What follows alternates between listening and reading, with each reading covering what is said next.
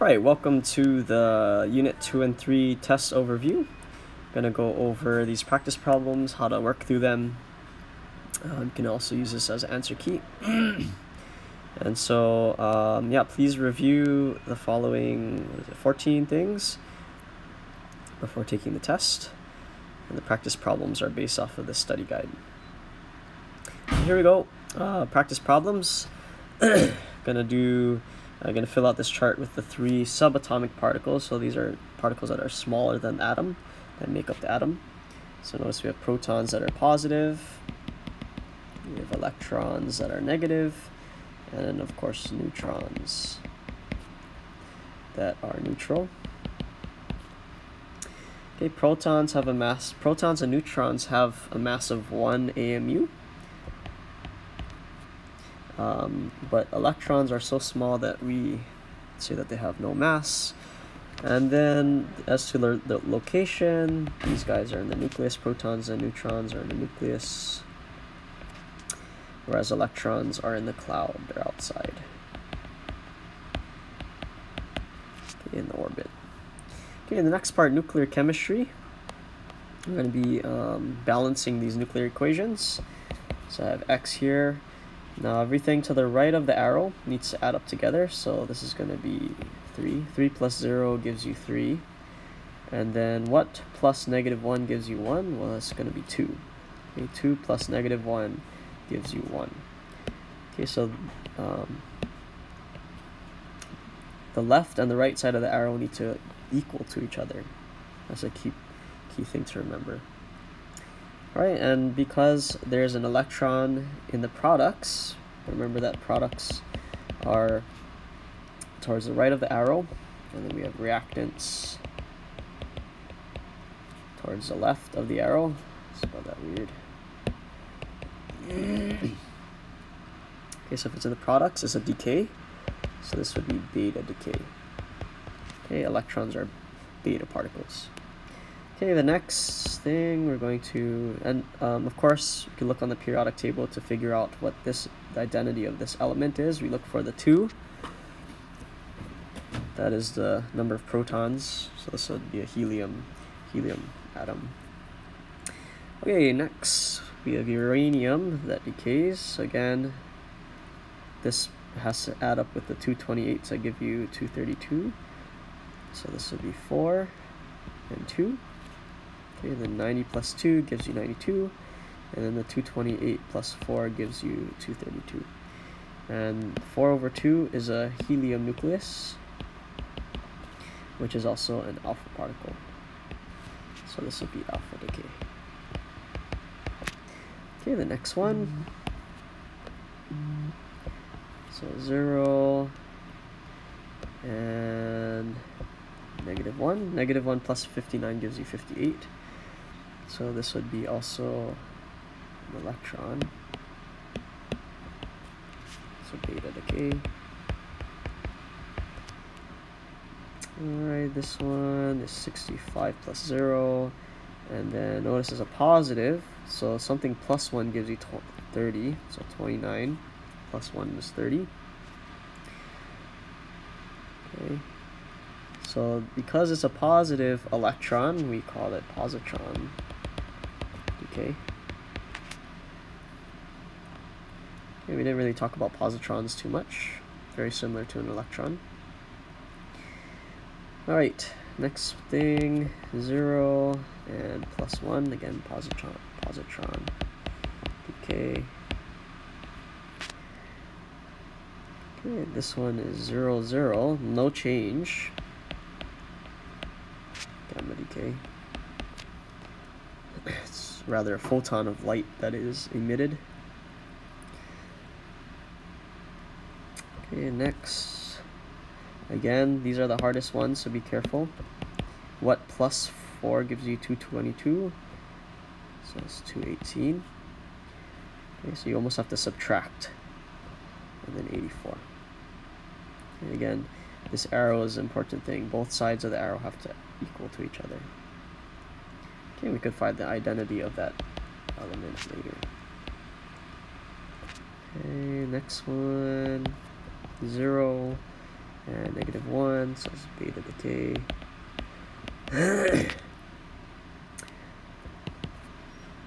Uh, this one would be, so what plus 4 gives you 239? So this would be 235 and 92. Okay, so uranium, that's alpha decay. And then lastly 0 and plus 1, positron. decay. Alright, and of course, we could also have um, alpha or beta capture, right? If I had 15O plus the alpha particle. Okay, just this is just a hypothetical example. Okay, notice that if the uh, if the radioactive particle is in the reactants, if it's on the left side of the arrow, it would be an alpha capture. Okay, instead of decay, it would be capture if the radioactive particle is in the reactants. If it's to the left of the arrow, it wouldn't be alpha decay anymore, it would be alpha capture. Okay, but same thing, you would just add them up. Okay, both sides have to equal to each other. Alright, moving on, continuing on, so thorium 234 decays by alpha. Okay, so decays mean that the decay is in the products. So 230 and thorium, let me get my periodic table.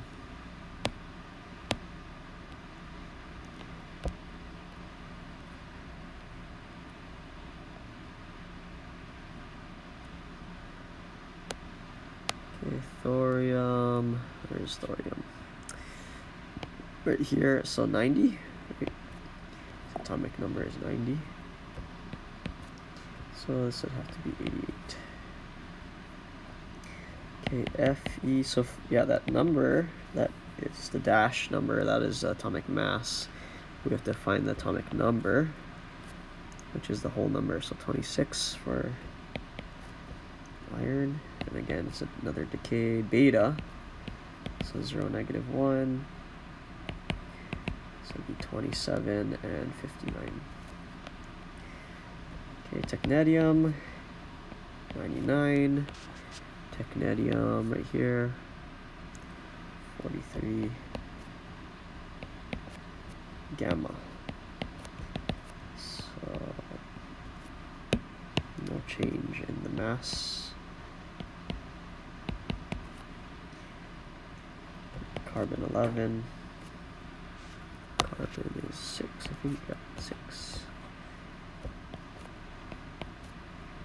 Electron, so notice this one is capture, which means that the electron, or the beta particle, is in the reactants to the left of the arrow. 11 and 5. Okay. Okay, the different part of, uh, properties, right? Alpha are these guys, these symbols beta is actually electron, electron that is emitted. Alpha, um, in terms of uh, danger or penetration, gamma is the is the most penetrative. Um, you would need two meters of concrete in order to block it. Uh, beta, you would just need like a sheet of metal or a sheet of glass to block it. Alpha is like a piece of paper or even your just your skin would block alpha. Okay, so gamma is probably the high, highest energy and most dangerous particle. It's actually a wave, you know, like gamma rays. Okay, atomic mass. So have 60.4%, that's the mass. The rest, so we have to calculate 100 minus 60.4. So what is that? 100 minus 60.4 is 39.6. So 39.6 of it is 70 AMU. So again, we take the percentage, 0.604 times, remember because it's out of 100, I have to move the decimal, divide by 100 to get it into a decimal. So times by 68.9257. And then I'm going to add that to 0.396 times 70.9249. Okay, so 0.604 times 68.9257 added to 0.936 multiplied by 70.9249. Okay, and that gives me 69.72. Okay, AMU. So that's the average atomic mass. Okay, half-life of carbon-14 is 5,700 years.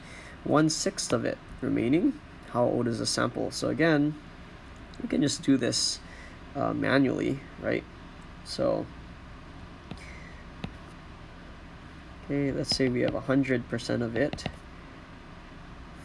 5,700 years later, we have 50% of it. Okay, or one half. Okay, after another 5,700 years, we have one fourth of it. Another 5,700 years, we have one eighth. Another 5,700 years, we have one sixteenth. So, what is 5,700 times 4? Okay.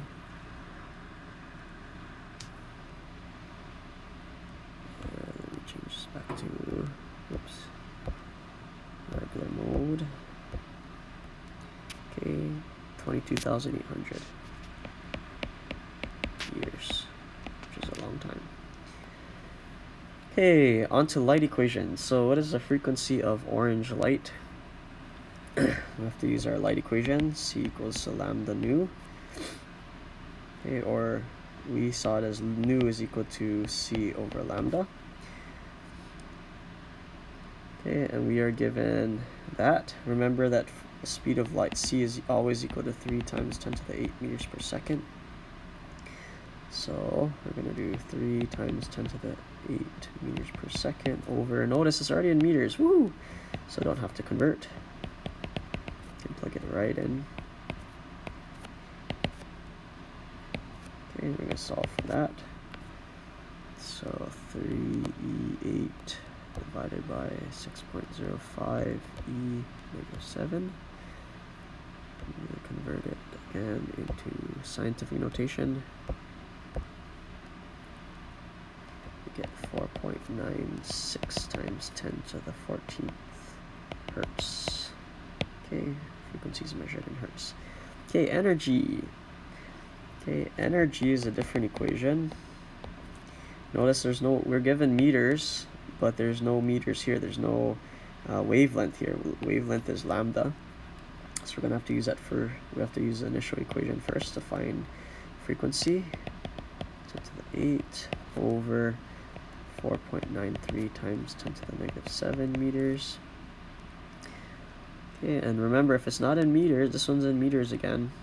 But if it's not, you have to convert it.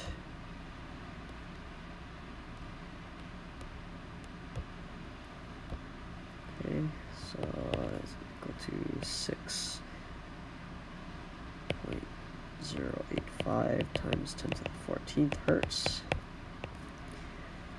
And then we can plug it into here. Energy is equal to uh, Planck's number, so H is always 6.626 times 10 to the negative 34 joules times second. Really, the really long number. You can round it to 63.63.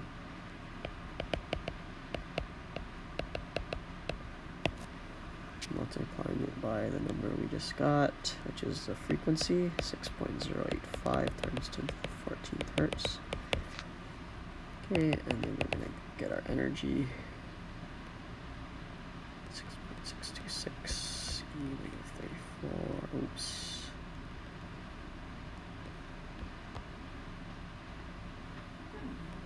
Good morning. Negative 34.